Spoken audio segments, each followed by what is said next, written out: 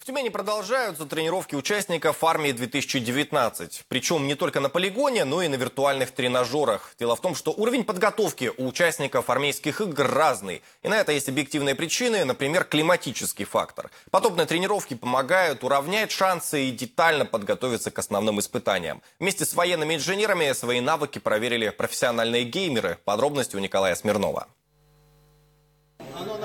Учебно-тренировочные занятия для механиков-водителей решили провести, чтобы уравнять шансы команд. Ведь в некоторых армиях, например, Пакистана и Монголии, использование именно плавающей техники – случай нечастый. В нашей армии есть ПТС-1, а ПТС-2 нет. Мы с удовольствием научимся управлять ПТС-2.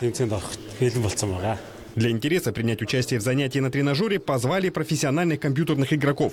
После 10 минут они достаточно уверенно справлялись с виртуальной машиной. Здесь ближе к реальности намного. То есть ты своими руками чувствуешь технику, как она едет, как она не едет. Там может, не может, горки, броды. Все довольно-таки так чувствительно. Плюс связь, шлемофон, жара.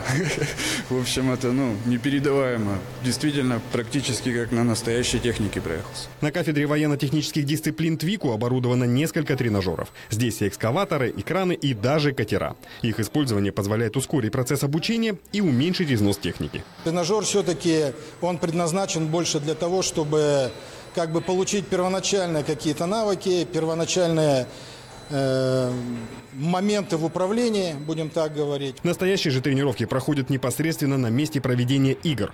Команды находятся в Тюмени уже две недели. За этот срок они успели акклиматизироваться, а также обкатать технику, что называется, в поле. Ежедневно военные из Пакистана, Узбекистана, Вьетнама и других стран десятки раз отрабатывают упражнения.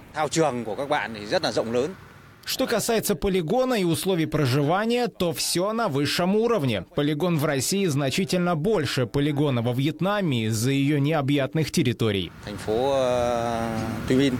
Финальные же состязания пройдут уже в эти выходные. Тогда же объявят и лучшего механика-водителя по итогам обучения на тренажере.